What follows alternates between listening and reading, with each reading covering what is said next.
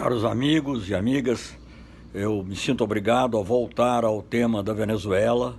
uh, sobretudo em função dessa convocação de uma reunião de ministros do Tratado Interamericano de Assistência Recíproca, o TIAR,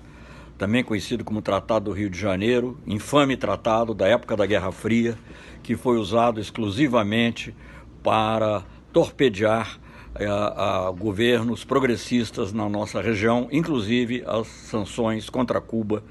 uh, que foram aprovadas em 64, depois da exclusão de Cuba em 62. A ameaça do uso do TIAR,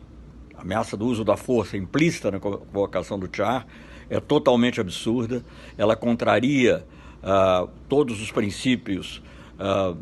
da convivência pacífica, da solução pacífica de controvérsias, da não intervenção e da autodeterminação dos povos.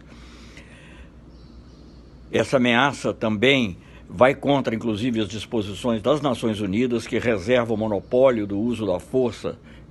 nas medidas, no caso de medidas coercitivas, à própria Nações Unidas, o seu Conselho de Segurança.